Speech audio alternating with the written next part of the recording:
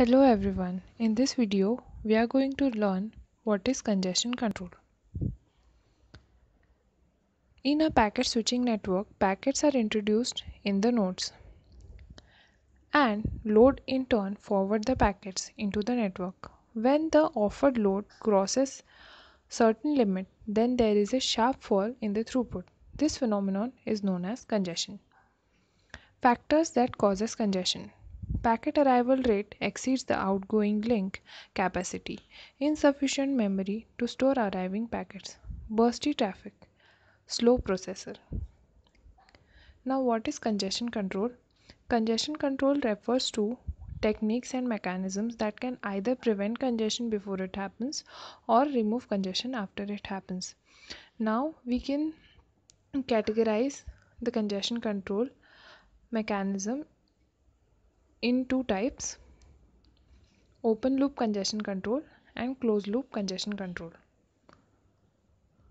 So in open loop congestion control, retransmission policy, window policy, acknowledgement policy, discarding policy and admission policies are there. Whereas in closed loop congestion control, back pressure, choke packet, implicit signaling and explicit signaling are present.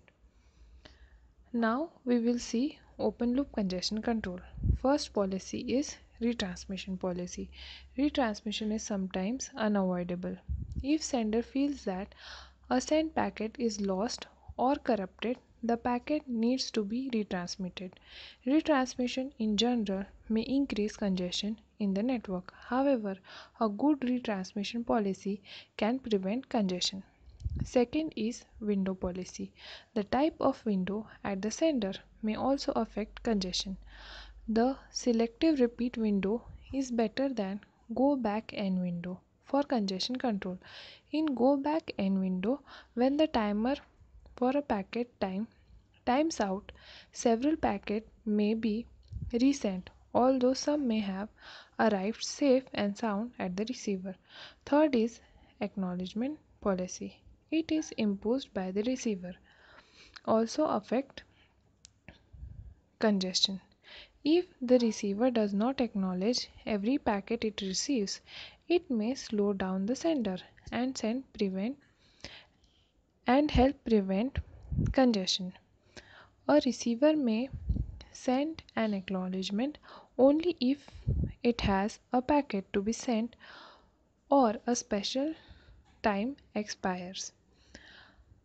A, a receiver may decide to acknowledge only n packets at a time. Fourth is discarding policy. A good discarding policy by the routers may prevent congestion and the same and at the same time may not harm the integrity of the transmission. For example, in audio transmission, if the policy is to discard less sensitive packets when congestion is likely to happen, the quality of sound is still preserved and congestion is prevented. Fifth is admission policy. A admission policy which is quality of service mechanism can also prevent congestion in virtual circuit networks. Switches in flow First check the so resource requirement for a flow before admitting it to the network or if there is a possibility of future congestion. Now the second type is closed loop congestion control. First in this first is back pressure. The technique of back pressure refers to congestion control mechanism in which congested nodes stop receiving data from the immediate upstream node or nodes. This may cause the upstream node or nodes to become congested and they in turn reject data from their upstream nodes. The back pressure technique can be applied only to the virtual circuit networks in which each node knows the upstream node from which a flow of data is coming and we can see it in the figure below. Second is choke packet.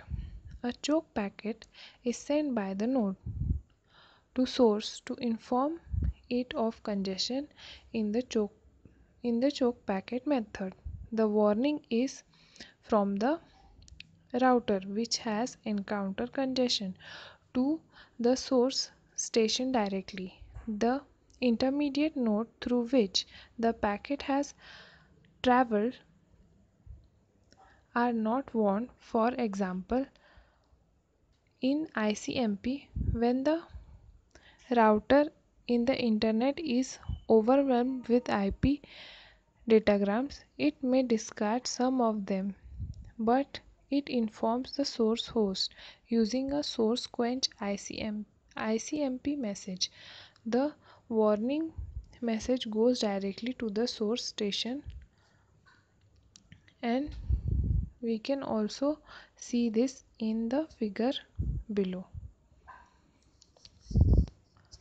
Third is implicit signaling. In implicit signaling, there is no communication between the congested node or nodes and the source. The source guesses that there is a congestion somewhere in the network from their symptoms.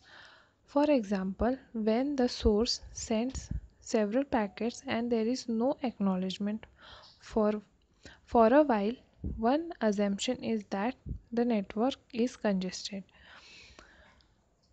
Explicit signaling. The node that experience congestion can explicitly send a signal to signal to the source to destination.